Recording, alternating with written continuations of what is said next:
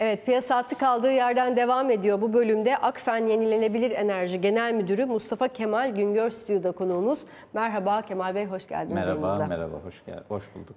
Burcu. Şimdi e, bilançodan başlayalım müsaadenizle. İkinci çeyrek bilançolarını artık bitiriyoruz Borsa İstanbul'da. Siz de kapa bildirmiş olduğunuz bilançonuzda ilk 6 ayda 770.3 milyon TL net kar açıkladı. Fakat sonra enflasyon muhasebesi düzeltmesiyle birlikte bu karı geriye dönük olarak 958 %8 milyon TL olarak revize edildi. Şimdi hasılata baktığımız zaman da e, %9 bir azalış var fakat e, esas karda da artış e, olmuş. Şimdi enflasyon muhasebesinin etkisi olarak açıklamak mümkün ama size en çok hangi kalemlerde nasıl etkiliyor ve bundan sonraki çeyreklerde bu etkinin azalmasını bekler miyiz? Bunu sorarak başlamak isterim. Tabii, teşekkürler. Ee, şimdi şöyle, biz ikinci 6 aylık, e, daha doğrusu 6 aylıkları açıkladığımızda e, şu- oradaki gelirlerimiz 2,5 milyar TL. Önce e, bazı rakamları vererek başlayayım. Tabii. E, FAVÖ'ümüz 1,6 milyar TL, net dönem karımız da 774,1 milyon TL olarak açıkladık. E, bizim e, öncelikle sorduğunuz enflasyon muhasebesiyle ilgili bizim e, finansallarımıza e, olumsuz bir etkisi olmadı aslında. Hani stoklu bir Olumlu çalışma, bile e, iş planı evet e, olmadı. E, burada tabii e, bir de şeyi sordunuz, gelirlerindeki farkla Farklı, işte evet. net dönem karı arasında e, daha fazla bir e, azalış var. Buradaki şey aslında üretim tesislerimizin performansından kaynaklanmıyor. Bizim üretim tesislerimiz hem kaynak hem coğrafi çeşitlilik yarattığımız için üretimde çok dalgalanma yaşamıyoruz. Geçen senenin ilk 6 ayıyla kıyasladığımızda aslında %3 civarında da bir artış var e, üretimlerimizde. Bu fark e, bizim HES'lerimizin bir kısmı e, dolarla satış yapan yekten mekanizmasının dışına çıktı. Geçen senenin ilk 6 ayla bu senenin ilk 6 ay arasında piyasaya e, sa- piyasa satış fiyatları arasında bir e, fark oluştu. Bu sene biraz daha düşük geçti ilk 6 ayda fiyatlar. Bu nedenle bu fark kaynaklandı. Onu söyleyebilirim. Evet, sizin tabii böyle bir piyasa takas fiyatıyla Yekdem arasında hatta e, uygulamanın kalkmasıyla birlikte bu farklar da görünür oldu olarak açıklayabiliriz. Evet ama bizim e, dediğim gibi e, portföyümüzün az bir kısmı, Kısmı. sadece yeklem dışında satış yapıyoruz. O da HES'lerin bir miktarında e, yeklem dışı satış olduğu için bizim e, bizim nakit akışlarımız oldukça stabil bir şekilde devam ediyor. Onu tutturabiliyoruz hedeflerimize. Şimdi tabii yatırımları çok merak ediyorum. Özellikle Evet. enerji yatırımlarınızı sürdürmeyi düşünüyor musunuz ve hangisi? Şu anda kurulu güçlerde GES'in biraz geride kaldığını da görüyoruz. E, tabii siz üçüne de yatırım yapan bir firmasınız. Doğru. Hem GES, RES, HES E, ve yeni santraller var mı? Ve ayrıca tabii bir de hayatımıza enerji evli depolama yatırımları da Evet. girdi. O tarafta da var mısınız? Evet. Şöyle biz tabii şu, e, 2007'de kurulduk. 17 yılda şu anda 700 megawattlık bir portföyümüz var. Rüzgar, hidro ve güneş. Söylediğiniz gibi rüzgarda biraz daha ilerideyiz. E, yarısı portföyümüzün rüzgar, üçte biri hidro, geri kalanı güneş. E, bundan sonra tabii ki yatırımlarımız devam edecek. Açıkladığımız bir plan doğrultusunda bizim iki aşamalı bir yatırım planımız var. Biz yani hem Türkiye'de hem dünyada olduğu gibi bundan sonra üretim profili daha stabil olan, e, seneden seneye, sezondan sezona çok farklılık göstermeyen kaynaklara odaklandık. Özellikle rüzgar ve güneşte e, büyümek istiyoruz. E, hem Türkiye'de hem dünyada zaten bu yönde bir trend var. E, Bizim şu anda yatırım planımız iki aşamalı demiştim. Birinci aşamada e, işletmedeki rüzgar santrallerimize güneş panelleri ekleyerek hibrit hale getireceğiz bu santralleri. 86 megawattlık bir hibrit yatırımımız var. Biz bunun bütün sözleşmelerini imzaladık. Yatırımlar da sahada başladı. E, Yine e, yine bu işletmedeki rüzgar testlerimize rüzgar türbinleri ekleyeceğiz. E, bu da 102 megawattlık bir yatırım. Toplamda aslında 188 megawattlık bir e, kapasite artışımız olacak. Ve e, yaklaşık 700 megawattlık portföyü 900 megawatta çıkarmış olacağız. E, 2025 ortalarını hedefledik bu yatırımları tamamını hayata geçirmek için. O yönde de gidiyoruz. Şu anda her şey yolunda. Sahada çalışmalarımız devam ediyor. İkinci aşamada da bahsettiğiniz depolamalı yatırımlarımız var. Biz orada e, 300 megawatt civarında bir ön lisans aldık. O yatırımlar da e, yine e, izin süreçleri devam ediyor. Hani birçok yatırımcı gibi biz de izin süreçleriyle şu anda uğraşıyoruz. E, İlk ÇED alan projeler oldu bizim projelerimiz. Güneş projelerimizden birisi, yine rüzgar projelerimizden birisi. E, izin konusunda da iyi gidiyoruz. O izinleri tamamladıktan sonra yatırım aşamasına geçeceğiz. 2027 sonuna kadar da e, zaten daha önce KAP'ta da açıkladığımız gibi o plana uygun olarak bu yatırımları hayata geçireceğiz.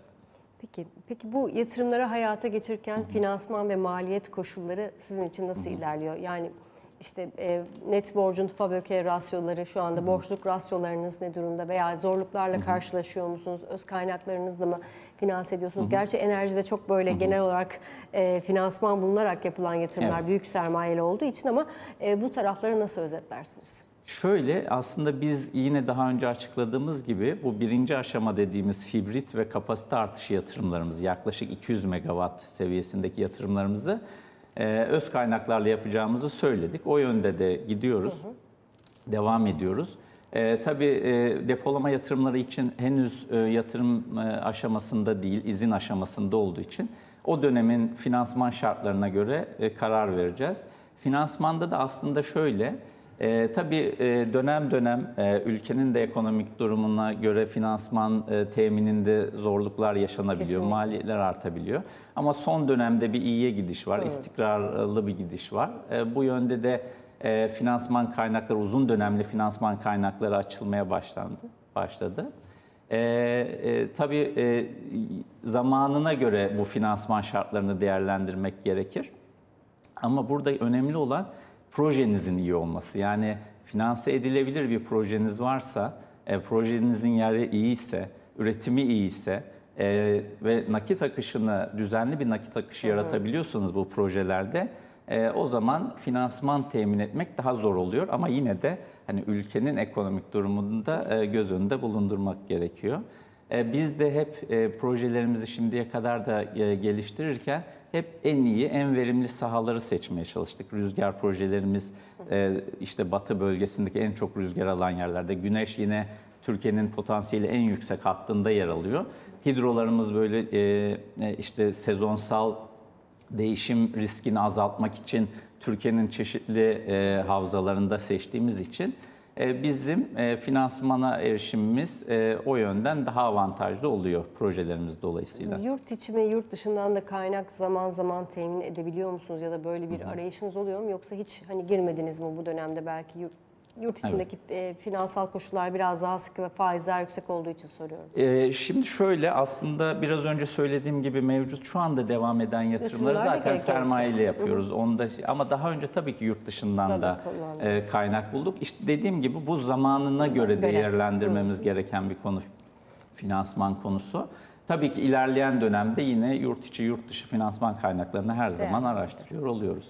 Peki sizin için bir diğer önemli konu hat yenilenebilir e, şirketler için karbon kredisi. Evet. E, şu anda uygulamalarınız nasıl ve burada da bir e, önemli oyuncu olma yolunda ilerler misiniz? Bu e, taraftaki çalışmalarınız nasıl gidiyor? Aslında biz e, en önemli oyunculardan biriyiz karbonda. E, biz tabii yenilenebilir enerjiden üretim yaptığımız için buradaki her ürettiğimiz e, kilowatt saat enerji bir karbon salınımının azaltılmasına katkı sağlıyor. Biz 2007'de kurulduktan sonra 2009'da da ilk tesisimizi devreye aldık. O tarihten beri karbon kredilerimizi, bu tesislere ait karbon kredilerini geliştiriyoruz. Ee, ve geçtiğimiz yıl özellikle çok önemli e, bir anlaşma yaptık. Onu da gene e, duyurduk, basında da duyuruldu.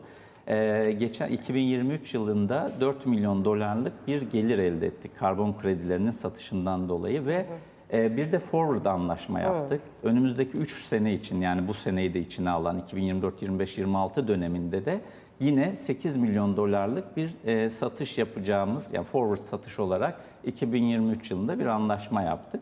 E, bu konuda e, e, öncü şirketlerden biriyiz. Forward satış e, özellikle gönüllü karbon piyasasında çok da sık rastlanan bir e, sözleşme yöntemi değil. Evet. Peki e, geçen seneden referansla bu yıl buradaki satışlarınız ya da gelirleriniz nasıl gidiyor diye sorsam? Karbon için Karbon sorusu. için. E, işte dediğim gibi biz aslında e, henüz üretmeden e, üretilecek e, rüzgar santrallerimiz için onların satışını gerçekleştirdik. Tabii ki diğer tesislerimiz için de bu çalışmalarımız devam ediyor. Yani güneşler ve hidrolar için de.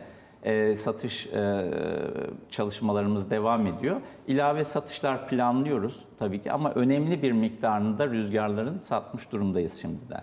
Şimdi üçüncü çeyrekte bitiyor. E, dördüncü çeyreğe giriyoruz. 2024 nispeten zor bir yıldı diye düşünüyorum. Şöyle yılın geri kalanı ve 2025 için beklentilerinize değinecek olsam bu bilanço rakamlarıyla yılın geri kalanını biraz daha zorlu ve 2025'te de içinde zorlu görünüm diyebilir miyiz yoksa artık biraz daha iyimser koşullarda mı bakıyorsunuz?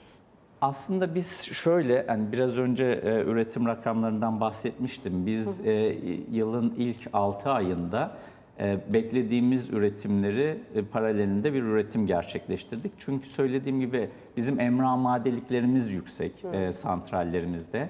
E, santrallerde varlıklarımızda bir sıkıntı yaşamıyoruz. İşte sadece mevsimsellik tabii ki zaman zaman aylar arasında veya seneler arasında kaymalar olabiliyor. Ama bunda yani e, örnek verecek olursam hidrolarda ilk çeyrek e, çok daha iyi geçti. ikinci çeyreğin iyi geçmesi beklenirken ama bu sezonlar arasında kaysa bile biz e, kaynak ve coğrafi çeşitliliği sağladığımız için e, toplam nakit akışlarımızda çok e, volat- volatilite çok fazla değil.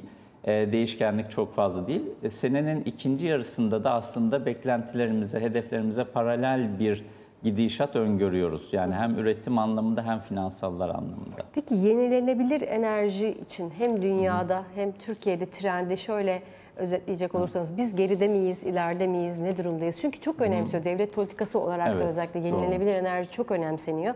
Bu durumda Türkiye için ilk önce tabii biraz daha küreselden Türkiye'ye gelecek olursak neler söylersiniz? Şöyle küreselde e, geçen yıl e, toplam e, ilave kurulu güç kapasitesinin e, %90'a yakını yenilenebilirden olmuş tüm dünyada. E, ve bu yenilenebilir içerisinde de e, yine %90 civar, 90'ın üzerinde rüzgar ve güneş. Yani aslında trend şunu gösteriyor. Yeni ilave kapasitelerin büyük bir kısmı yani yüzde yüze neredeyse yakını diyebileceğimiz kısmı yenilenebilir. Yenilenebilir içinde de rüzgar ve güneş. Dünyada böyleyken Türkiye'de de aynı trend var. Bizde de artık HES'ler belli bir noktaya ulaştı. HES'teki yatırım planları, e, yatırımlar e, belli seviyeye geldi ve kapasite kullanımları arttı. E, ama rüzgar ve güneşte tabii ki fena gitmiyoruz son 15-20 yıl için düşünürsek ama daha gidecek çok yolumuz var. Gidişat bizim de aslında şirket planlarımızda olduğu gibi dünyada, Türkiye'de ve Akfen yenilenebilir olarak bizim şirketimizin planlarında olduğu gibi rüzgar güneş ağırlıklı gidecek. Tabii ki yenilenebilir de konuştuğumuz işte sezonsallık veya gün içerisinde üretim dalgalanmaları oluyor. E, bu da şebeke işletmecisini zora sokuyor. Bunun için de e, depolama sistemleri ön plana çıkacak. Şu anda işte Türkiye'de de e, çok e, ciddi miktarda kapasite dağıtıldı depolamalı üretim tesisleri olarak. Dünyada da bu yönde ciddi gelişmeler oluyor. Batarya sistemlerinin, depolama sistemlerinin maliyetleri geriye doğru gidiyor. E, daha yeni teknolojiler çıkıyor. Bataryadan sonra yani e, daha doğrusu e, bataryalı depolamadan sonra hidrojen gibi kaynaklar da e, öne çıkmaya başlayacak. E, trendi biz böyle geliyoruz. Bizim de hep çalışmalarımız bu yönde. E, hem bataryada ön lisanslarımız var, hidrojenle ilgili de e, araştırma çalışmalarımız devam, Devam ediyor. ediyor. Burada da yenilikçi bir şeyler var o zaman. Evet, belki evet, yakın aynen, zamanda belki duyurursunuz diyeyim.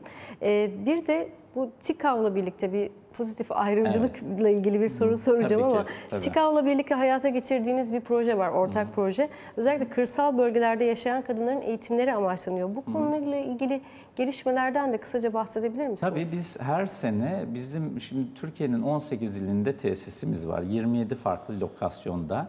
Ee, biz tabii e, yatırımlarımızı yaparken e, çevresel etkilerini, olumsuz etkileri minimuma düşürecek uygulamalar yaptığımız gibi sosyal olarak da o çevreye katkı sağlamayı amaçlıyoruz. TİKAV, e, Akfen tarafı, Akfen Holding tarafından kurulmuş bir e, vakıf. E, 25. yılını kutladı bu sene ve e, onlarla birlikte her yıl farklı bir proje geliştiriyoruz ve odak noktamızda aslında e, söylediğiniz gibi kadın, oradaki kadınların eğitimi üzerine çalışıyoruz. E, bizim santrallerimizin yer aldığı bölgedeki. Şimdiye kadar dört tane proje gerçekleştirdik. Zaman zaman bu işte 0-6 yaş grubu çocukların eğitimi oluyor. Zaman zaman sağlıkla ilgili, hijyenle ilgili. Bu sene de dijitaldeki ayak izimiz diye Yani dijital e, de e, dijital e, dünyadaki riskleri anlattığımız, orada bilinçlendirme ve farkındalık yaratmaya çalıştığımız bir çalışma ve e, çok da ilgi görüyor bütün çalışmalar. TİKAV'la birlikte yürütüyoruz biz. Böyle tabii kıymetli şirketlerin de böyle sosyal sorumluluk adına değerli işler yapması gerçekten de çok kıymetli ve çok da önemli diyeyim ben de. Teşekkür ediyorum Kemal Bey yayınıma katıldığınız, konuğum olduğunuz için ve sorularımı yanıtladığınız Ben için. size teşekkür ediyorum Akfen- Burcu Hanım. Sağ olun. Akfen Yenilenebilir